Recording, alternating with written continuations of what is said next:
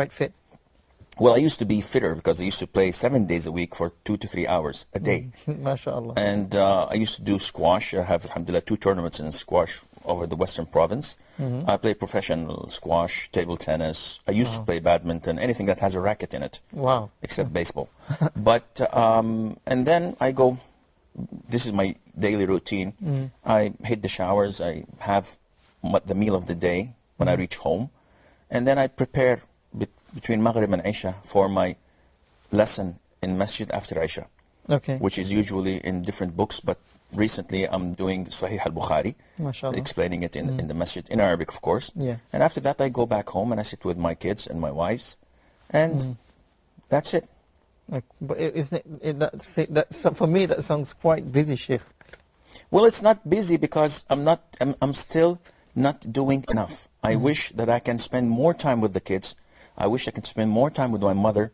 I wish I mm-hmm. could go and, you know, do things that I want to. I, I don't see my friends because I don't have friends that I can call friends in the sense that I spend my time Yeah, with. yeah. I spend like 95% of my time with my wives and the kids. Yeah. Because I, I, this is my safe haven. This is where I find myself with them. But unfortunately, they demand more and more. Yeah, And yeah.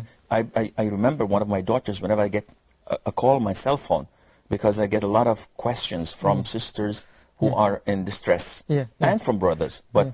it's, it's so frequent, up to two to three hours a day Yeah. in total. So whenever the phone rings, my daughter starts making faces at me. Turn it off, turn it off. We want to sit with you. And whenever I open my laptop to answer Ask Huda's questions and emails, Yeah. again, I said, again? Come on, give us time.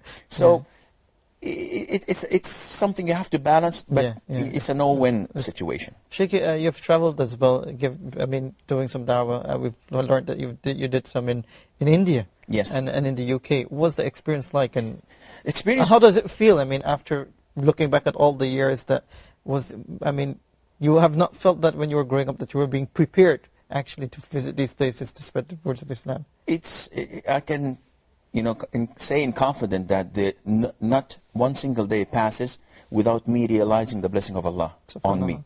I always every single day attribute whatever success I have in my life to Allah the Almighty who had prepared me, who had blessed me with the knowledge, with the well, I don't see it wisdom, but people say it. But I enjoy what I am. I do not have any regrets. It's the grace of Allah Azza wa upon me. The experience was overwhelming. It's mind-blowing. I was invited by Dr. Zakir Naik mm-hmm. on December 2007 to participate in the Peace Conference. Yeah. And I got to meet a, a bunch of scholars and stay with them for about 10 days. And this was the experience of my life. Yeah. Being there with Sheikh Ja'far Idris mm. by itself, it's an experience. If you add to that Abdurrahim Green mm. and Abu Amina Bilal Phillips and uh, Hussein Yee and Salim Al-Amri and the whole nine yards, Yasir Qadhi, Yasir Fazaga, and so many of them. Just being there having lunch and dinner. I, I, Yusuf uh, Estes was there, but he wasn't with us in the same hotel. When you be among, when you're among your brothers and the scholars, the da'iyah, and you see how small you are compared to these mountains, it's, it's a mind-blowing experience. I, I enjoyed, you know, I enjoyed it 100%. Yeah. UK, uh, I go on and off. And Alhamdulillah, the brothers there are so generous. They keep on calling me and, and asking me to, do, to give them lectures and, and lessons. And seriously, I see Islam there Subhanallah. because you see people in the midst of this, you know, kufr, Yeah. but they are grabbing to their deen. They're always smiling. Yeah. They're not violent. They're tolerant. They're, they love, they love love for everyone. Mm-hmm. And it, it, it's also a great experience for me. Sheikh, we have about two minutes remaining. Um, do you see, I mean, the role of the media that you've been part of for quite a few number of years? Um, is it something that we, the, the da'is should look towards? Um, is, is it the real da'wah? Well, actually, it's not the real dawah, but it's a big portion of it. I could spend this time I'm doing with you in my masjid, Mm-hmm. and I could preach to 100 or 200. Mm-hmm. Through this program, I could preach to not less than 200 or 300 thousand Yeah. Muslims listening to what we have to say. So the impact and the end result is far greater than doing it in the masjid. But the masjid is quality. Here you have quantity, and with the grace of Allah, you can add to that quality. In the masjid, you have quality that you are focusing on certain individuals. And I believe that it's the Muslims' obligation mm-hmm. to support such media channels.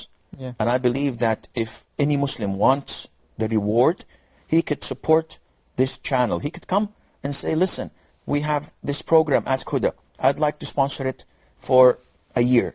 How Yeah. much would it cost? Yeah. And he pays it up front. And I know that there are lots of businessmen or enthusiasts who have the money and who are willing. And they should approach Yeah. Huda management. This is done easily, easily either by support at huda.tv or feedback at huda.tv And they can be part of the reward. MashaAllah. Sheikh, just one last question. If, I mean, looking back at all your years, I mean, uh, being part of spreading the message, what, what was one what's one blessing you think was very special? I can't count that. There, there are, and you know, numerous blessings of Allah Azza. But believe me, one of the greatest blessings that I find is when I talk on the phone for 40 or 50 minutes with a sister who is in distress, who cries and weeps and complains of her husband, and I reconcile between them. And she sends me a text message saying, Jazakallah khair, things are A-OK, and it is the grace of Allah and for you. Thank you very much for being with us on Inside Huda, Sheikh. Assim. Well, that wraps it up for today uh, episode of Inside Huda. Until next time, Assalamu alaikum wa rahmatullahi wa barakatuh.